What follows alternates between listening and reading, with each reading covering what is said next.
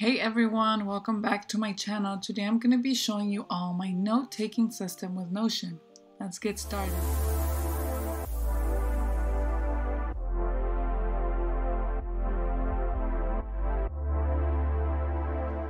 So this is how I structure my notes. First I make a page. So usually I make a page um, based on topic or based on a course I'm following. So in this um, specific one, I made one for the responsive web design certificate um, through Free Code Camp. So I made that the title of the page and that is what I added here. Then I added of course an icon. You don't have to do that if you don't want to. It's not really that important. But here is the important part. So as you can see the notes are fully collapsed and you only see the main topics. So you have basic HTML, um, basic CSS, applied visual design, applied accessibility, responsive web design principles, Flexbox, and CSS grid. Toggles are amazing. Toggles are your best friend. Always use toggles. Usually I use toggles for the overarching theme or the concept um, as you can see here um, and it's it just makes it easier for when you're going back to your notes and you want to reference your notes and you're like okay the specific thing that i'm looking for is in html so you look in html or if the specific thing you're looking for is about flexbox you open the flexbox toggle. Um, I always go back to my notes, especially when it comes to Flexbox and CSS Grid, and that's what makes it so easy as opposed to having you know a notebook where you just scribble down everything um, so now let's look inside the toggles. So inside the toggles I have bullet points.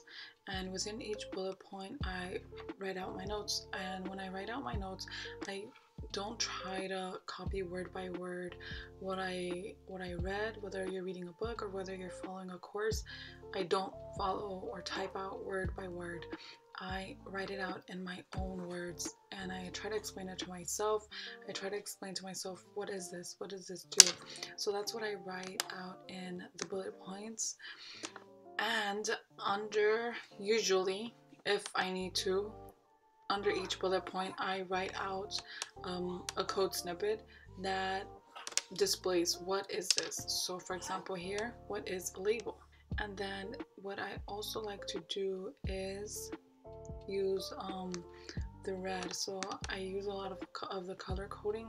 Um, usually I use red and the red arrow to symbolize um, a comment on the code snippet. So what is the code snippet doing and what I can use it for?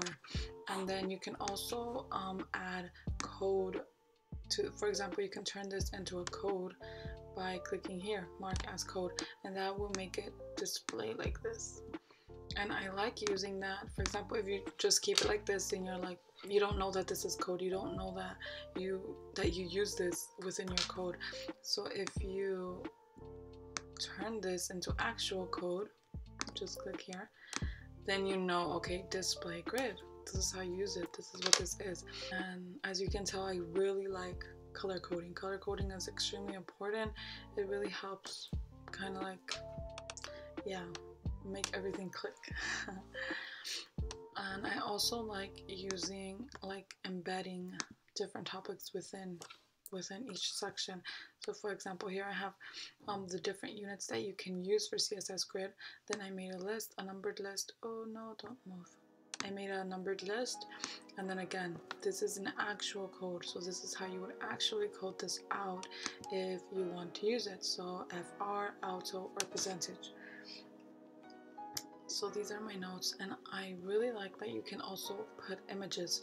So for example I have here the images.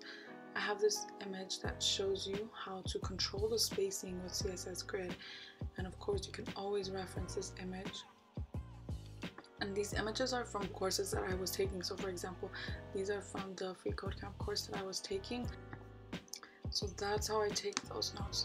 Now I'm gonna show you my JavaScript notes. Now these notes are different because this is just for a topic. So this is just for JavaScript. And I have different courses within this page. So I have a Scrimba course that I followed and then I have the toggles and within each toggle again I have the bullet points and I have the code snippets so it's the same structure and then here I have the free code camp um, JavaScript basics. So for example, here I um, divided it up into even more sections. So right here I have the math op math operations, and within there and within that like overarching theme I have other toggles. So the assignment operator and then you open that and then you have more notes. So it's a lot of embedding you know it's a lot of this within this within this. And this is another thing that I like doing is adding a bunch of red exclamation marks and this is just um kind of like to tell me like okay this is important and you didn't really understand it so come back to it and this is just you know it's a trigger.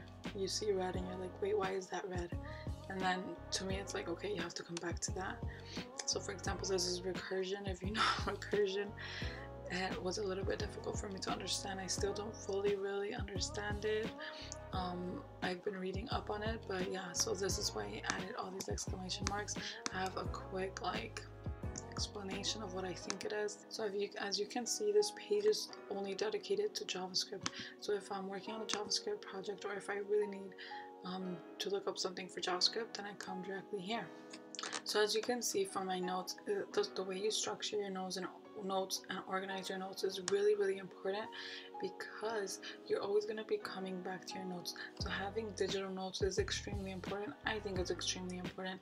Even if you write out your notes by hand i definitely recommend that you also transfer your notes um, to a digital platform whatever you like. I know a lot of people use evernote or they use vim or they, they use a lot of different things. I just really like notion. Um, so yeah this is how I structure how I organize them. And I also want to show you all my study plan how I take notes after projects. So this is how I take notes after I've finished a specific project that I made. So for example this is the template this is my study planner template. If you all are interested this template is completely free. Um, you can find the link down below. I'll add it. Or if you go to my Instagram it's or my Twitter pretty much all my socials. The link in my bio takes you to where you can download this template. So this is the pretty much the basic structure that I follow. So this I call it the WIL the what I learned um, method. So pretty much here I will write out what I learned again in my own words and kind of like explain it to, explain it to yourself. Like if you're teaching yourself I learned how to so and so and so on and then in these um, section I write the key concept. And then here I write stop points. And then here you can add code snippets of whatever you're explaining to yourself. So I'm going to show you all an actual example of how I use this. For example, this one I made a menu and I wrote what I learned. I learned how to create a dynamic menu with JavaScript using JavaScript, add products to the web page and display different categories by adding a click event buttons. Buttons also learned how to dynamically add buttons. So in my own words, saying to myself what I learned. And then here are key concepts. So for example, here a key concept is the map array method. That's an overarching theme. And then here I kind of tried explaining to myself what is the map array method. So the map array method makes a new array with the results of calling a function for every array method. And then I'm like, okay, but what does that mean? So then again, I made another bullet point. So the map method will give you a new array that has been altered or changed by whatever code you have in the function that it was passed through. So you see how I kind of use like slang to write it out? You know, I use words that I understand, more simple words. And then here I explain what the code does. So what the code snippet here does.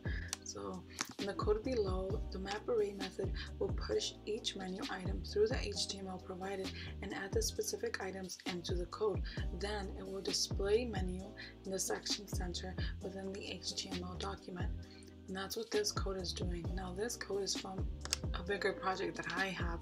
So of course, if someone else looks at my notes, they're like, what the heck is this? But you know, I understand it and I have the actual full-on project, so I can reference that. So definitely make sure that the code snippet, that you understand it, it's from, you know, things that you know. And then again, here's another key concept, the join array method. And then again, here I explain to myself the join array method returns an array as a string. So if you use the map array method to create a new array, then you can use join to put it all together and then display it. Display it. So you see how I'm really explaining that to myself? And that's really important, you know, talk to yourself and really make sure that you understand. And another thing that I like doing is embed. So it's great if you want, um, a lot of the time I'm just embedding things from MDN. So for example, here is the, for the reduce array method, and this link will take you to the MDN um, section on array, um, the reduce array method. So I definitely recommend that you embed links and it's really easy. You just do the slash and embed. You click on this and then here you pretty much put the link that you want to embed. I'm not going to embed anything now. So yeah, that's how I take notes, you guys. Um, I'm not sure if I did a great job of, of explaining that. Um, if you have any more questions, please, please leave them down below or feel free to reach out to me and any of my social medias or my email or anything and I'll try my best to help you out. Um, I really hope this video was helpful. Honestly, um, changing the way I take notes and just um, taking more efficient notes has really, really, really helped me, and I, I really emphasize this because I know how difficult it was for me in the beginning, and when I was just taking handwritten notes, and you know, it just wasn't efficient at all. So I really, really, really, really, really hope this was helpful, and I will see you guys in my next video. Bye.